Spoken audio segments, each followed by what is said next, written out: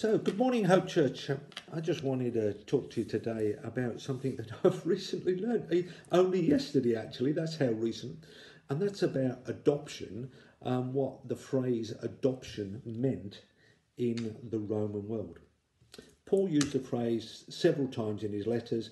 Uh, one of the common ones that we know is in Romans 8 15, where it says, For you did not receive the spirit of slavery to fall back into fear, but you've received the spirit of adoption by whom we cry, Abba, Father. We are now adopted into God's family so that we can call God Daddy. We don't, we're not slaves, we're not people who are in the household but subservient to. We are family members. But actually, when you were adopted in Roman law, it meant an awful lot meant more than that. Romans used to commonly adopt. They used to, if somebody didn't have um, an heir, they would go around and they would look and they'd say, "Oh, Fred's son, I like him. He would be a good heir for me." And they'd go and talk to Fred, and they'd say, can I make your son my heir? Can I adopt him into my family? Now, Fred had three or four children. He might actually say, Well, how am I going to leave an inheritance for Fred? Okay, you take him, he becomes your son, and Fred gives up all rights to his son. That's something which we may struggle to understand. But the person who is adopting, suddenly the new son has all of the rights of that new family he changes his name and becomes known as Paul, the Son of God Almighty, creator of the world. People then talk about Paul, Son of God Almighty, the creator of the world, with a whole new respect, a whole new way than they did when they just used to talk about Paul Bauer. Oh, he's one of those guys who just um, still walks with the enemy.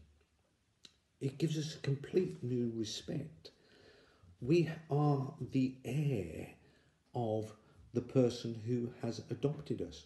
We are part of their family. In fact, quite often, some of the Romans, they had their own children, uh, their own natural children, and they might look at their natural children and think, these guys aren't worthy to carry on my name because they're selfish or they're jealous or they're, they're spoiled brats or, or whatever. And so they would still they would adopt somebody else who they felt was more honouring and adopt that person into their family and that person would be their principal male heir and would take over a higher place in the family than the natural children.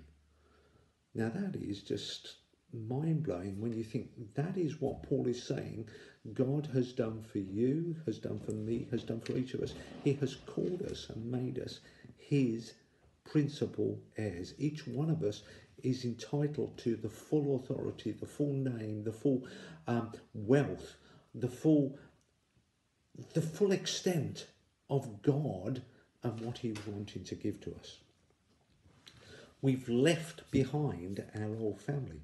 When they're adopted into the new family, their past is forgotten. Their past commitments are no longer their commitments. They were the commitments of Paul, son of Arthur, as opposed to Paul, son of God. Paul, son of God, has completely different commitments.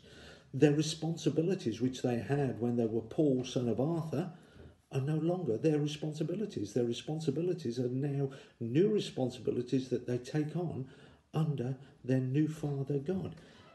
Their debts that they had when they were Paul, son of Arthur, are completely erased.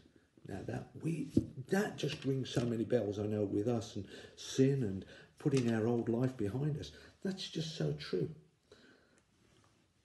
But the best thing of all, and this is the one that absolutely blew my mind, is when a Roman citizen adopted a man into his family or a child into his family, he could not under any circumstance, legally disinherit that person.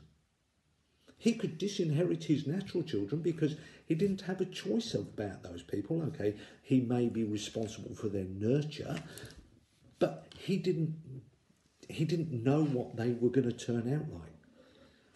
But when he adopted somebody, he knew what that person's character was like. He knew what their strengths were. He knew what their weaknesses were. He knew what their looks were like. He knew all about them. So he couldn't go to the magistrate and say, I didn't know, because he did know. So they could not be disinherited.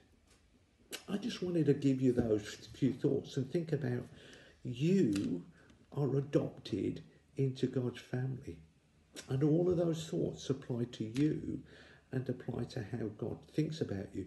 You are so, so important. You are the most important member of God's family.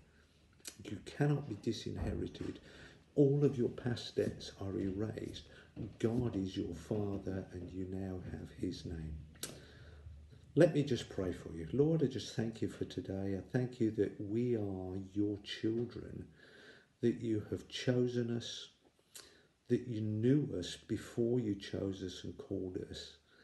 And Lord, that you know everything about us. You know our strengths, you know our weaknesses, you know what makes us tick, and still you called us.